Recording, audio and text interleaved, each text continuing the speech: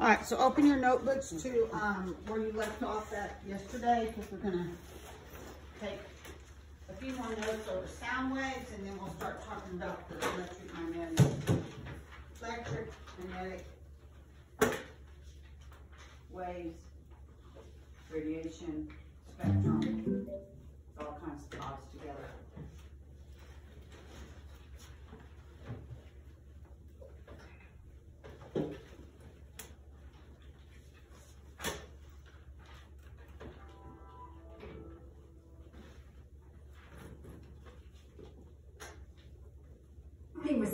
Hundreds, even thousands of cues about what's going on in your environment every day, strictly from sound. In addition to things like speech and music, there are other bits of auditory information that shape your day. An ambulance passing by, a baby crying in the next room, and of course, sorry, just got a text. But there's a lot we can learn, not just from what these cues mean, but from how sound itself works. Studying sound waves has helped doctors learn more about our ears and has allowed engineers to design things like microphones and speakers. Biologists have even used the science of sound to figure out how animals like elephants can communicate over long distances when we can't even hear them doing it. It all comes down to the fact that sound is a wave which travels through a medium like air or water. And knowing that sound is a wave is important because it means that we can use the physics of waves to describe the qualities of sound.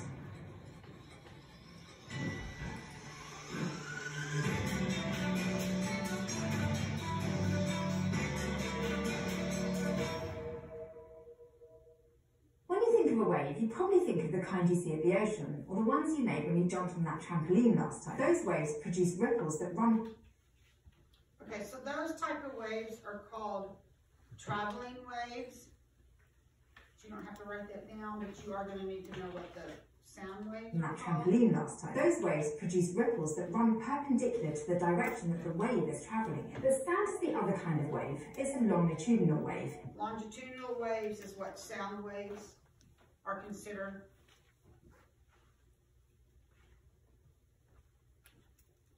So they oscillate, they're like an os, they oscillate, which means, do y'all know what that means? Yes, to oscillate. Meaning that the wave's back and forth motion happen. The waves move back and forth motion, and that happens in the same direction in which the wave is traveling. So longitudinal waves are waves that move back, have a back and forth motion, and um, they move in the same direction. That back and forth motion moves in the same direction in which the waves are traveling. There's more like a spring, because remember, you had compressions, we had like higher compressions, and it had the lower compressions, compressions, and then you had the high peaks were called compression, and the low peaks were called um, refraction. So everybody got this part down?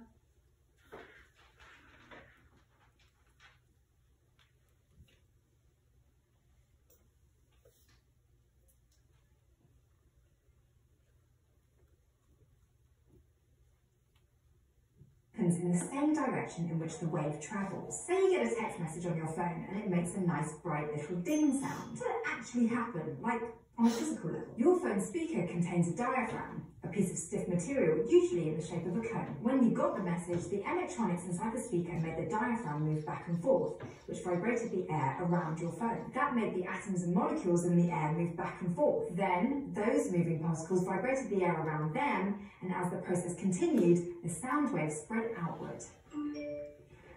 Sorry, I'll turn this off now. Anyway, Physicists sometimes describe sound waves in terms of the movement of these particles in the air, in what's known as a displacement wave. But by moving particles in the air, sound waves also do something else. They cause the air to compress and expand, which is why sound waves are sometimes described as pressure waves. As the wave spreads through the air, the particles end up bunching together in some places and spreading out in others. Together, all that bunching and spreading out causes areas of high pressure and low pressure to form and move through the air. It's useful to describe sound waves as pressure waves because we can build devices that detect those changes in pressure. That's how some microphones work, for example. They use a diaphragm stretched over a sealed compartment, and as sound waves pass by, they create areas of lower or higher pressure in the compartment. The differences in pressure cause the diaphragm to move back and forth, which electronics then translate into audio data. And your eardrums basically work in the same way. As pressure waves pass through, they make your eardrum vibrate.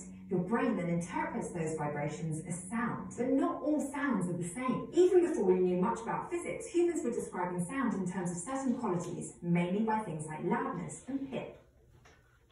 Our understanding of those qualities help shape the development of music, which we'll talk about more next time. But there's also a more physicsy side to those qualities of music. Pitch can be high or low, and it corresponds to the frequency of the wave.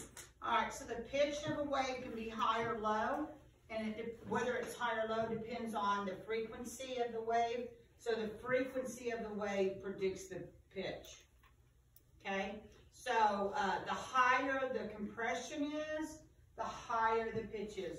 The lower the compression is, the lower the pitch is.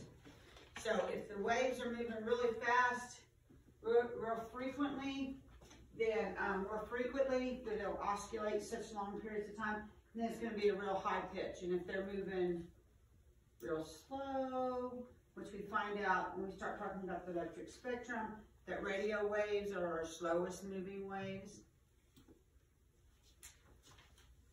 on our spectrum.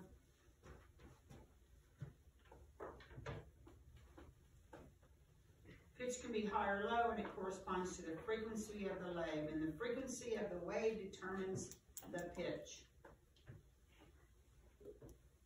So air that's vibrating back and forth more times per second will have a higher pitch, and air that's vibrating fewer times per second will have a lower. Alright, so if it's moving more, more times per second, it's going to have the higher pitch. So the faster it moves, the higher the pitch will be. The slower it moves, the lower the pitch will be. And frequency has to do with the speed at which it's moving.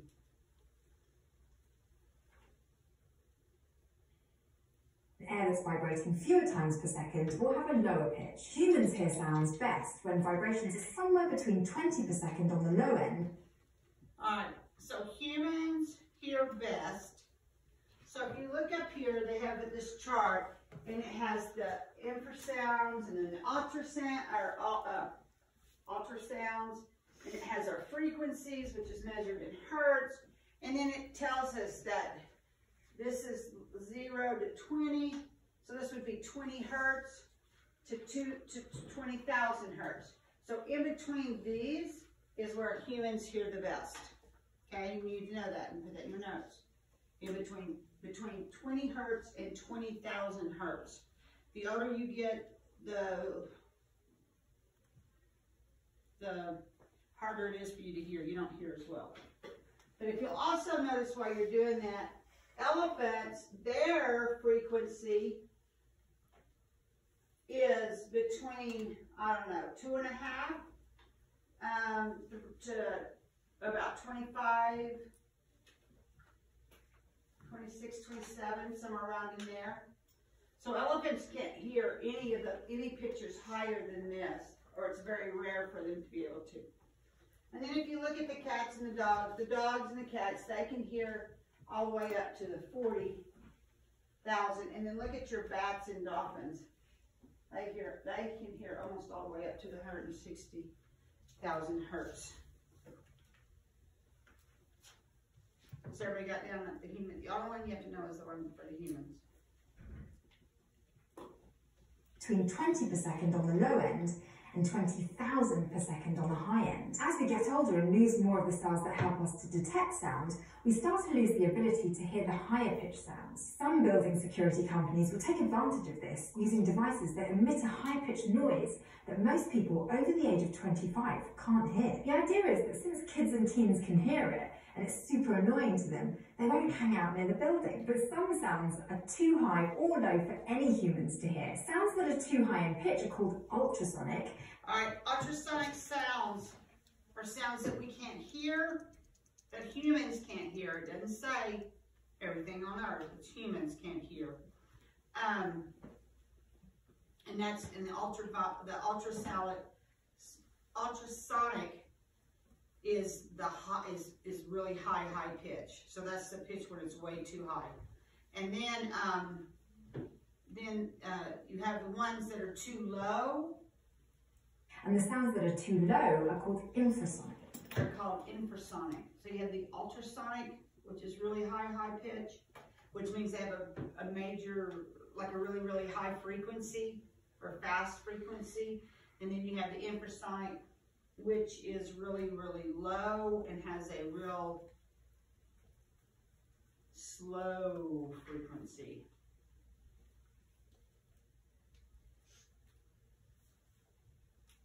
So the dolphins and the bats would be under which one of those? Ultrasonic. Somebody raise their hand. Yes, Ultrasonic. yes. And so what would be in the infrasonic from our chart? Someone who hasn't answered a question. The elephants, yes. Dog whistles, for example, use an ultrasonic pitch that's too high for us, but is perfectly audible to dogs. Elephants, on the other hand, use infrasonic sound to communicate with each other. Anybody in here have a dog whistle? Usually the people that have it are the people that use them for hunting, like birds or coyotes, mountain lions. And they blow it when they want them to come back, and we can't hear it, but they can. That is considered an ultras- uh, ultrasonic sound also.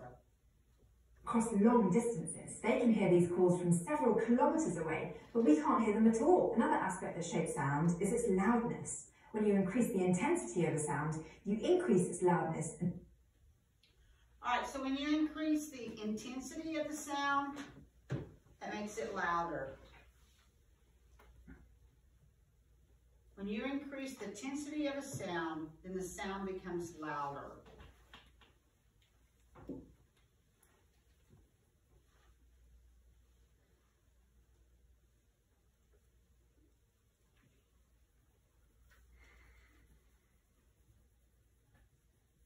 You increase its loudness and vice versa. We've talked about the intensity of a wave before. It's the wave's power over its area, measured in Okay, so the way they figure the intensity is intensity equals power over area. So that would be power divided by area.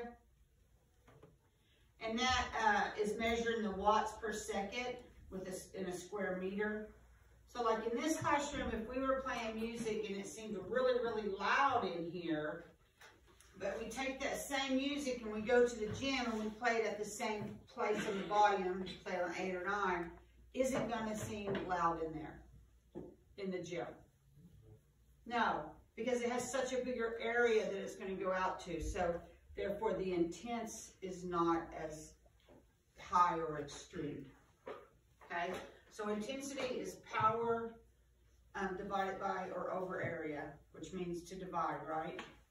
Watts per metre squared. We've also said that the intensity of a wave is And now this is proportional to the wave's equal in this here. amplitude squared. And the further you are from the source of a wave, the lower its intensity, by the square of the distance between you and the source. And just as there's a range of pitches that humans can hear, there's also a range of sound wave intensity that humans can hear comfortably. Generally, people can safely hear sounds from about 1 picowatt per square metre up to 1 watt per square metre, which is about as loud as a rock concert if you're near the speakers. The sound waves coming from a jet plane that's 30 metres away, for example, probably has an intensity of around 100 watts per metre squared. Now, I don't know if you've ever been that close to a roaring jet plane, but there is a reason why the people that work on the tarmac at airports use those heavy-duty headphones. Below 1 picowatt per square metre, sounds are just too soft for us to detect them. And although we will hear sounds above a watt per square metre, they tend to hurt our ears. Here's a weird thing about loudness and intensity. It's not a linear relationship. Generally, a sound wave needs to have 10 times the intensity to sound twice as loud to us. This relationship holds true as long as the sound is towards the middle of the range of the frequencies we can hear. So instead of directly measuring the loudness of sounds by their intensity, we use units called decibels which are based on bels. Bels convert a sound wave's intensity to a logarithmic scale, where every notch on the scale is 10 times higher than the previous one. The scale starts off with an intensity of 1 picowatt per square metre, corresponding to zero bels. So a sound that's one bel is 10 times as intense as a sound that's zero bels, and a sound that's two bels is 10 times as intense as a sound that's one bel, but 100 times as intense as a sound that's zero bels. Measuring everything in bels can be kind of annoying because sometimes you want to talk about sounds that are, say, 3.4 bels without having to deal with decimal points. That's why most of the time you'll hear the loudness of a sound described using the more familiar decibel unit. a tenth of a bel. To find the loudness of a sound when you know its intensity, you take the base 10 logarithm of its intensity over the reference intensity of 1 picowatt per square meter. Then you multiply that number by 10 to get the sound's decibel level. We can use this equation to convert the intensity of that noisy rock concert, which we said was 1 watt per square meter, to decibels. First we take the base 10 log of 1 watt per square meter over 1 picowatt per square meter. Now, 1 divided by 1 times 10 to the minus 12 is just 1 times 10 to the 12. So what we really want to do is take the base 10 log of 1 times 10 to the 12 or a trillion watts per meter squared. What a logarithm asks you to do is find the power that you would need to raise the base to in order to get the number in parentheses. In other words, we're looking for the exponent of 10 that would equal 1 times 10 to the 12, which is just 12. To finish off the calculation of decibels from intensity, we multiply that value, 12, by 10 to get the decibel level of the rock concert where you were standing. 120 decibels. Ow! You'll notice that as the source of a sound moves closer to you, it gets louder, and as it moves away, it gets softer. Alright, so the closer the sound gets to you, the louder it is. And the further away it gets from you, the softer it is. Or the closer you get to the source of the sound, it gets louder. Or the further you may move away from it, it gets softer.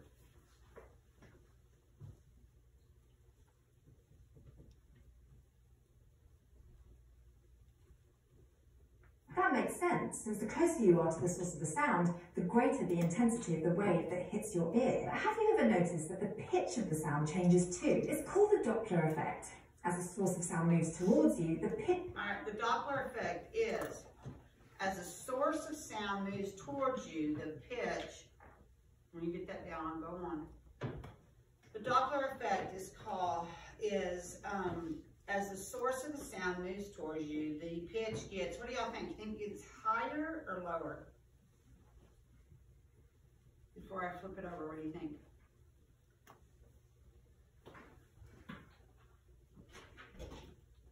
Anybody have an idea? Anybody have a thought? As the sound moves towards you, the pitch becomes what? Higher or the lower? sound you hear increases, and It's gonna increase, the pitch of the sound will increase. Increase means what? It's gonna get what, higher or lower? Higher. Higher. So the closer the sound gets to you, the higher or the pitch will increase. The higher the pitch becomes or the louder it becomes. Did I get ahead of y'all? Here, Lila, is this where you were? I was at the, the Doppler.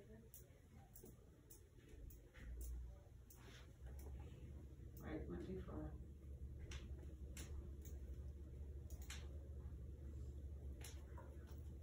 The Doppler effect is the source of sound moves towards you, the pitch will increase. The pitch of the sound will increase. So the closer it gets to you, the pitch will get higher. If it's increasing, it's gonna get higher. If it's decreasing, it's gonna get lower.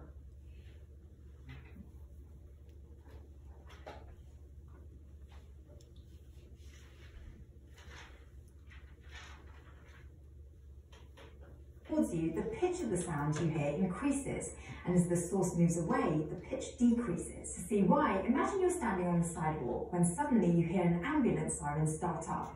It's coming from down the road and it seems to be moving toward you. The ambulance is continuously emitting sound waves at a certain frequency in the form of that siren. But as the ambulance moves towards you, the ambulance is also moving towards those sound waves. So the peaks that hit your eardrums are closer together, even though So, um, and we've all done this. We've all heard a siren and we stop. And usually if you hear a siren, it's usually the ambulance or, um, the fire department, right? And we stop, especially if you're driving, you're gonna slow down and you're gonna listen to see if that sound is getting louder or not. Because if it's getting louder, then you know you're probably gonna have to pull over to the side of the road because the ambulance could be coming your way. And when you, when the ambulance is coming your way, you pull to the right leave the left open. Have y'all ever done that, like listen to see if it's coming to, closer to you or not?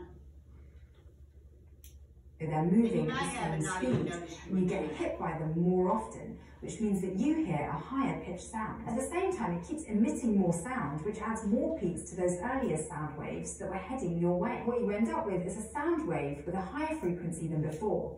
That's what hits your eardrum, so you hear a sound that's higher in pitch than the one you heard when the ambulance was further away from you. As the ambulance passes you and starts to drive away down the road, the opposite happens. Sound waves still coming toward you, but the ambulance is driving away from them. So the peaks that hit your eardrum are farther apart and you hear a sound with a lower pitch. The Doppler effect isn't only unique to sound waves, it happens with light too, which means we can actually use it to measure the distance of stars.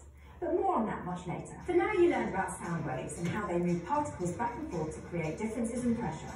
We also talked about pitch and how the intensity of a sound wave changes with amplitude and distance. Finally, we covered decibels as well as the Doppler effect. Crash Course Physics is produced in association with PBS Digital Studios. You can head over to their channel and check out a playlist of the latest episodes from shows like Gross Science, Okay, so now we're gonna start electromagnetic spectrum. Electro, not, dot, uh, magnetic spectrum.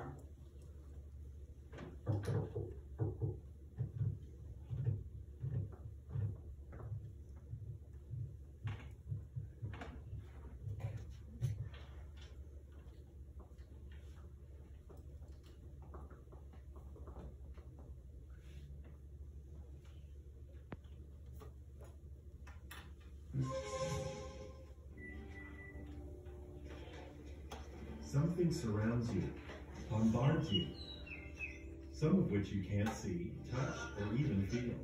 Every day, everywhere you go. It is odorless and tasteless, yet you use it and depend on it every hour of every day. Without it, the world you know could not exist. What is it? Electromagnetic radiation. Alright, electromagnetic radiation is all around us, um, day and night. And without it, the world that you know would not exist if we didn't have electromagnetic radiation waves. And we'll be learning about there's different speeds that the way that the that the waves travel depending on where they're at on the spectrum, and we go all the way from radio waves, which is a little bit different than sound waves, okay? I know a lot of people think sound waves and radio waves are the sound because the same because when you hear a radio, you hear the word radio, you think of music. When you think of music, you think of sound, right? But they're they're, di- a little different types of. Um, the big thing is how they travel. Um, but if it wasn't for these electromagnetic uh, radiation waves, as what we know now, you wouldn't have. These waves spread across a spectrum from very short gamma rays to X-rays, ultraviolet rays, visible light waves, even longer infrared waves, microwaves, to radio waves, which can measure longer than a mountain range. This spectrum is the foundation of the information age and of our modern world. Your radio, remote control, text message, television, microwave oven, even a doctor's x-ray, all depend on waves within the electromagnetic spectrum. Electromagnetic waves, or EM waves, are similar to ocean waves in Alright, so you can either call them electric mag- magnetic waves or EM waves, but they're similar to the ocean waves. And how they're similar is they both are what they They're call both- energy waves. So the electromagnetic waves are similar to ocean waves, and those similarities are they both are considered an energy wave. They both are considered an energy wave, are energy waves. They transmit energy. which means they transmit energy. They're an energy wave, they're transmitting some type of energy.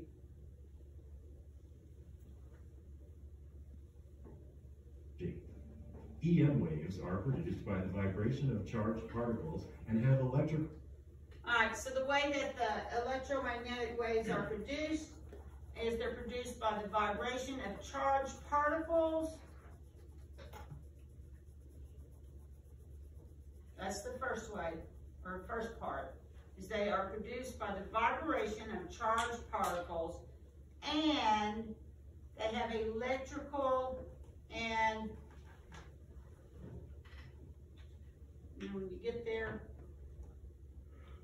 EM waves or electromagnetic magnetical waves are produced by the vibration of charged particles and have electrical and Electrical and magnetic properties. magnetic properties, which is where they get electromagnetic. Think of electricity and think of a magnet, and that will help you remember that word. Electromagnetic.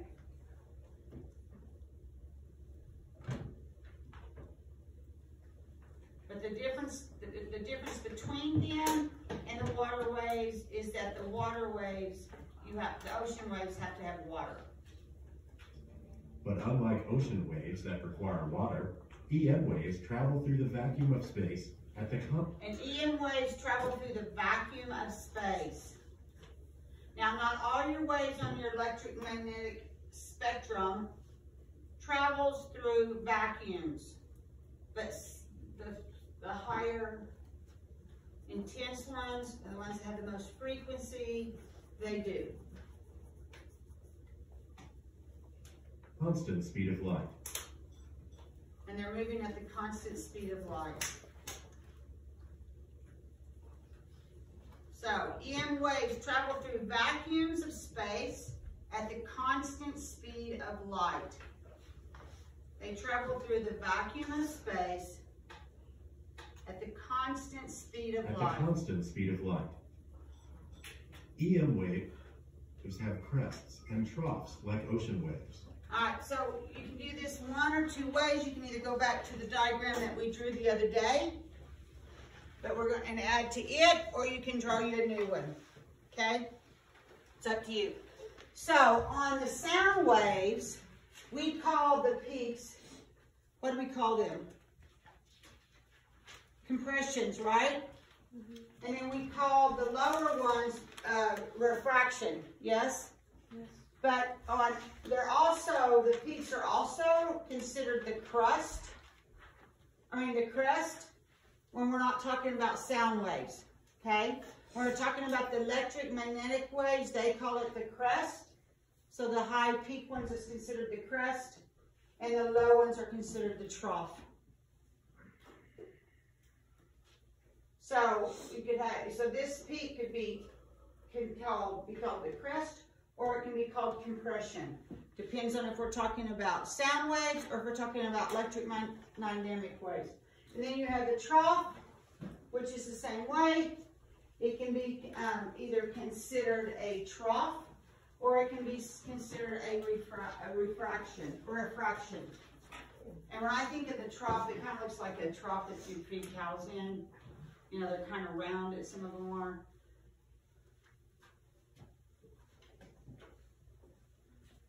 So everybody got that down, because we're fixing to get another one. Everybody's got down about the crest and the waves. And the troughs of the waves. It's between crests is the wavelength. Okay, so the wavelength is the distance between one crest to the other.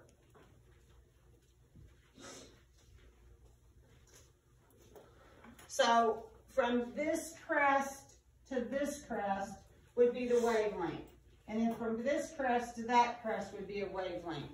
But in water, in the sound crest, the sound waves travel differently than ultraviolet. So most of your ultraviolet ones, the wavelength is going to be the same all the way across, unless something happens that increases the intensity or lowers the intensity. But the wavelength runs from, is the length from one crest to the next. Now, it's not from the beginning of the wave to where you see it ending. It's just from the crest to crest. While some EM wavelengths are very long and are measured in meters, many are tiny and are measured in billions of a meter, nanometers. The number of these So what waves, wave wavelengths do you think is measured in nanometers? Radio waves or gamma rays?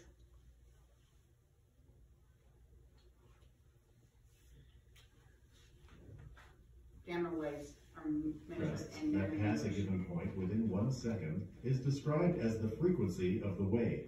Okay, the frequency of the wave is.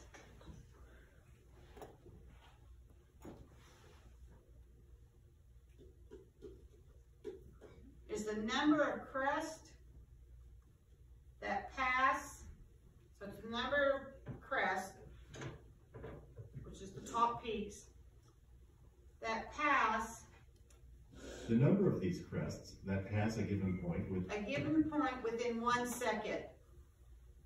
So radio waves, it's gonna take them, because they're a much longer wave, it's gonna take them a longer time to get to that, to that second. To that, to that point that they're measuring it on, right? So they're not gonna have as many, as many waves or crests as the gamma rays, because, and then the gamma rays could pass it like a whole bunch of times, and they're measured, which is why they're called nanometers. within one second is described as the frequency of the wave. One wave or cycle per second is called a hertz. One wave or cycle per second is called a hertz.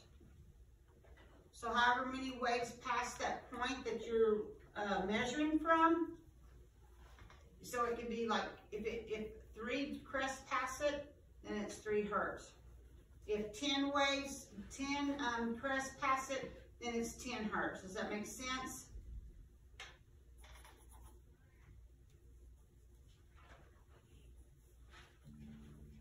Long EM waves, such as radio waves, have the lowest frequency and carry less energy.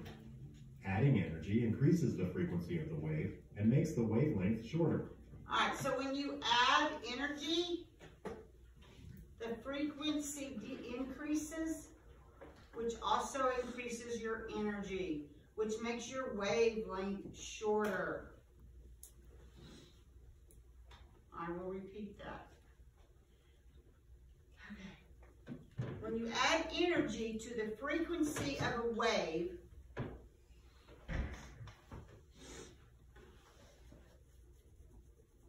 then the wave um, increases in speed.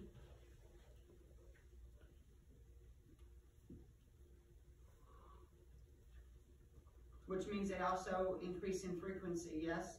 And they also carry more energy. So the higher the energy is, the higher amount of frequency you're gonna have, okay? Or vice versa the higher frequency, the higher amount of energy is going through that wave at the time. Now, if you notice on here, there is uh, this, they have a, they have this spectrum here, and it starts with radio waves, and then we go to microwaves, infrared, visual, ultraviolet, X-ray, and then your gamma rays. And we will be modeling this in our book, but we model it this way instead of this way, because I think it's easier for you to remember. And you will, we will learn and take notes on what each of those type of rays do and what they're used for and everything. But like I said, radio waves are not the same as sound waves, okay? Um, that's all we're gonna do today, because that's as far as the first hour class got. And we'll pick this back up tomorrow. Friday, your lab will be over sound, and, um, it'll be in stations, so you'll move from one station to the next. I'll put you in groups. Depending on how many stations I set up, how many people will be in each